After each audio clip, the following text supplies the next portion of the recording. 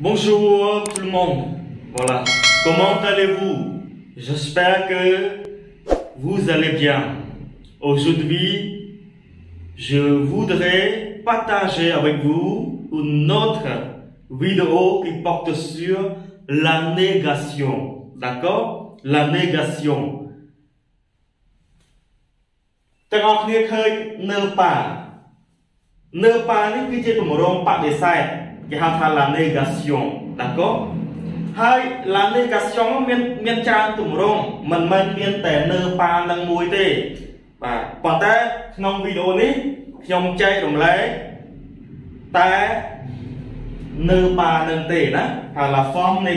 négative la négation la négation បាទវាមានមានច្រើនមាននៅអីគេខ្លះបាទនៅប៉ា ne plus ne rien ne jamais ne personne អញ្ចឹងទម្រង់បដិសេធមានច្រើនប៉ុន្តែក្នុងវីដេអូនេះគឺយើងផ្ដោតទៅលើតែ ne pas ne pas ហ្នឹងគឺងាយជាងគេហើយណាបាទយើងហៅថា la négation simple បានន័យថាបដិសេធងាយងាយធម្មតាធម្មតា La négation simple se compose de deux éléments អញ្ចឹងទម្រង់ បដិសេធងាយងាយហ្នឹងគឺផ្សំឡើងពីធាតុពីរគឺនៅហើយនឹងប៉ានឹងតែម្ដងនៅប៉ាខាងដើមនេះគឺជា pronom personnel sujet ហើយលើ pronom personnel sujet សព្វនាមប្រធាន ne plus verb plus pas d'accord បាទអាចមាន complément អីតទៅទៀតអញ្ចឹងណាបងអញ្ចឹងនៅប៉ានេះគឺជាទម្រង់បដិសេធហើយទីតាំងរបស់វាគឺយើងដាក់នៅចន្លោះកិរិយាសព្ទដាក់នៅចន្លោះកិរិយាសព្ទប៉ុន្តែ ក្នុងវីដេអូនេះខ្ញុំនឹងបញ្ជាក់ឲ្យច្បាស់អឺចំពោះ present ដល់ negative មិនបញ្ហាទេប៉ុន្តែចំពោះ passive composé ឬក៏ចំពោះអឺការផ្សេងផ្សេងទៀតខ្ញុំនឹងបញ្ជាក់ណាថាតើយើងដាក់នៅប៉ានៅកន្លែងណាទី1 je ne suis pas étudiant កន្លែងនេះយើងអានភ្ជាប់មកណា je ne suis pas étudiant ខ្ញុំមិនមែនជានិស្សិតទេបើសិនជាយើង មិនដាក់លើប៉ាទេវាទៅជាទម្រង់ស្រោបគេហៅថា la phrase affirmative ប្រយោគស្រោប je suis je suis étudiant ខ្ញុំគឺជានិស្សិតឧទាហរណ៍អញ្ចឹងណាដល់ពេលយើងចង់និយាយថាខ្ញុំមិនមែនជានិស្សិតយើងដាក់លើប៉ាហ្នឹងមកលើប៉ាហ្នឹងនៅចន្លោះកិរិយាសព្ទនេះគឺជាកិរិយាសព្ទគេហៅថា le verbe conjugué កិរិយាសព្ទបំបែកមិនមែនជាកិរិយាសព្ទដើមហើយលើ verb à l'infinitif នឹងទេតិចទៀតខ្ញុំនិយាយដល់ហើយណា ចឹង je ne suis pas étudiant suis នេះគឺជាលើ verb conjugué ចេញពីកិរិយាសព្ទ être ចឹង je ne suis pas étudiant ខ្ញុំមិនមែនជានិស្សិតទេ nous ne sommes pas en janvier ចឹងបើយើងនិយាយថា nous sommes en janvier បានន័យថាខែនេះគឺខែខែមករាប៉ុន្តែបើយើងដាក់លើប៉ានៅចន្លោះកិរិយាសព្ទនេះបានន័យថាផ្ទុយពីនោះវាបដិសេធ négation d'accord ចឹង nous ne sommes pas en janvier ខែនេះមិនមែនជាខែមករាទេ d'accord bon ទី3 il ne va pas à l'école il ne va pas à l'école បើយើងទៅសេជា la phrase affirmative បានន័យថាប្រយោគស្រោបយើងទៅសេបាន il va à l'école បានន័យថាគាត់ទៅសាលារៀន il va à l'école គាត់ទៅសាលារៀនដល់ពេលយើងដាក់លើប៉ាចន្លោះកិរិយាសព្ទហ្នឹង បានន័យថាគាត់អត់ទៅសាលាទេ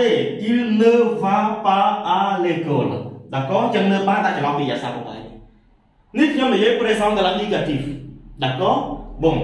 vous n'habitez pas កន្លែងនេះគឺចំណុចសំខាន់សម្គាល់ណាសម្គាល់តិចចុះនៅនេះបាទនៅនេះនៅនេះកាលណាវាជួបជាមួយនឹងស្រៈ កិរិយាសព្ទហ្នឹងណាវាផ្ដើមឡើងដោយស្រៈឧទាហរណ៍ថាកិរិយាសព្ទ aimer aimer ចូលចិត្តស្រឡាញ់ចឹងណា aimer នេះវាផ្ដើមឡើងដោយស្រៈ habiter រស់នៅ habiter នឹងរស់នៅនេះជាកិរិយាសព្ទដូចគ្នាណា aimer នឹងជាកិរិយាសព្ទដែលផ្ដើមឡើងដោយស្រៈហើយ habiter ហ្នឹងក៏ជាកិរិយាសព្ទដែលផ្ដើមឡើងដោយ h មួយ a នេះគេហៅថា h មួយ a h មួយ a បានន័យថា h គោ h គ្មានសំឡេង ទាំងអស់គ្នាយល់ទេថាតែបានគ្មានសម្លេងយើងអត់អានវាទេអត់មានសម្លេង ash នឹងទេគឺ a តែម្ដង habité ឃើញទេ habité ចឹងហើយបាន ash នឹងថា ash 1a បាទកូចឹងនៅពេលដែលមើលនេះវាជួបជាមួយ voyelle ឬក៏ ash 1a យើងលុបអឺចេញហើយដាក់ apostrophe បាទវាអត់មាននាំនើដដែលទេយើងអត់ទៅសេនើឲ្យ habité យើងលុបចេញណាអញ្ចឹងចេញជា n'habitez pas តើអស់ទេតើ vous n'habitez pas à ភ្នំពេញអ្នកមិនបានរស់នៅ ទីក្រុងភ្នំពេញទេអអត់មកថា j'aime j'aime យើងនិយាយថាអញ្ចឹងចឹងណាដល់ពេលយើងថាអានេះខ្ញុំចូលចិត្តដល់ពេលខ្ញុំមិនចូលចិត្តគឺ je je តាមនេះចាយើងឃើញពីដើមចាបាទខ្ញុំសេចក្ដីចឹងណាចឹងដល់ពេលស្រាក់ស្រាក់ជួបនឹងស្រាក់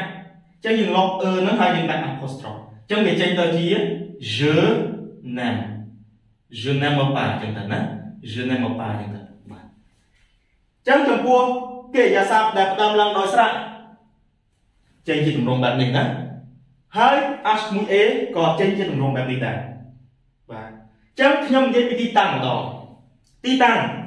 ទីតាំងចំពោះ present ដល់ negative វាអត់ពិបាកទេយើងដាក់នៅចន្លោះកិរិយាសព្ទ8ហ្នឹងទៅពីព្រោះថាវាមានកិរិយាសព្ទតែមួយចុះបើសិនជាខ្ញុំនិយាយអំពីតង់ compose ដែលមានកិរិយាសព្ទមួយហើយនឹង logilia មួយឧទាហរណ៍ថា passive compose ចុះណាចឹងយើងដាក់នៅប៉ានៅកន្លែងណាឧទាហរណ៍ចឹងបាទ je អខ្ញុំទៅសេស្រោមសិនចាស់បាទ je n'ai pas pu ខ្ញុំទៅសេខ្លីៗ je n'ai je n'ai pas pu ឧទាហរណ៍ចឹងទៅណាបាទចឹង pu នេះវាមកពី pouvoir ខ្ញុំមិនអាចខ្ញុំមិនអាចធ្វើអីចឹងណាបាទឧទាហរណ៍ចឹងយើងដាក់នៅប៉ានេះនៅប៉ានៅចន្លោះ losilia នៅប៉ាហ្នឹងនៅចន្លោះកិរិយាសព្ទជំនួយមិនមែននៅចន្លោះ participe passé ទេពុយនេះគឺជា participe passé របស់កិរិយាសព្ទណា pouvoir ចឹងយើងអត់ដាក់លើប៉ានៅចន្លោះទាំងអស់នេះហើយយើងក៏មិនដាក់លើប៉ានៅចន្លោះ participe passé ដែរយើងដាក់លើប៉ានៅចន្លោះកិរិយាសព្ទជំនួយហៅ l'auxiliaire l'auxiliaire កិរិយាសព្ទជំនួយវាមាន avoir ហើយនិង être ណា passive passé មិនចឹងចឹងយើងដាក់លើប៉ានៅចន្លោះនេះអត់មានទៅសេ je ne puis pas ទេអត់មានទៅសេ je ne puis pas ទេ je n'ai pas puis ទម្រង់ passé composé ហ្នឹងគឺថាយើងដាក់លើប៉ាហ្នឹងគឺអញ្ចឹងដាក់នៅចន្លោះគេអាចសັບជំនួយទាំងអស់គ្នាតើទេបាទអញ្ចឹងអត់មានដាក់កន្លែងផ្សេងទេបាទអញ្ចឹងអានេះខ្ញុំបញ្យល់ពីទីតាំងហើយមួយទៀត កិរិយាសព្ទហើយនឹង l'infinitive កិរិយាសព្ទពីរជាប់គ្នាឧទាហរណ៍ចា៎បាទ je je vais je vais manger ឧទាហរណ៍ je vais manger អីចឹងទៅណាខ្ញុំនឹងហូបអីចឹងទៅខ្ញុំសរសេរខ្លីៗទេណាចឹងឥឡូវនេះបើសិនជាយើងចង់បដិសេធយើងដាក់នៅប៉ាកន្លែងណាដាក់នៅប៉ានៅចន្លោះកិរិយាសព្ទនឹងដដែល je ne vais pas manger ចឹងទៅណាអត់មានដាក់កន្លែងក្រោយនឹងអីទេចឹងខ្ញុំនិយាយអំពី localisation ខ្ញុំនិយាយអំពីទីតាំងចឹងនៅប៉ានៅតែដាក់ចន្លោះកិរិយាសព្ទ8 le verbe conjugué d'accord je ne vais pas manger je n'ai pas pu Voilà, vous n'habitez pas, il ne va pas, nous ne sommes pas, nous ne sommes pas, je suis pas étudiant បាទហើយនៅពេលដែលយើងនិយាយនៅពេលដែលយើងនិយាយ នៅហ្នឹងយើងមិនចាំបាច់បញ្ចេញសលេងវាមកក៏បានដែរដូច je ne suis pas étudiant យើងនិយាយយើងអាចថា je suis pas étudiant ចឹងនៅហ្នឹងវាបាត់ពេលនិយាយណាបាទយើងអាចយើងអាចមិននិយាយបានមិនបញ្ចេញសំឡេងនឹងបានតែបើសរសេរយើងត្រូវតែសរសេរដាកូបាទអរគុណច្រើនទាំងអស់គ្នាសង្ឃឹមថាទាំងអស់គ្នាយល់ជាមួយនឹង la négation ne pas ហើយជួបជាមួយខ្ញុំនៅវីដេអូបន្តបន្ទាប់យើងនឹងរៀនអំពីបដិសេធ ទម្រង់បដិសេធផ្សេងៗទៀតណាបង merci tout le monde au revoir à très bientôt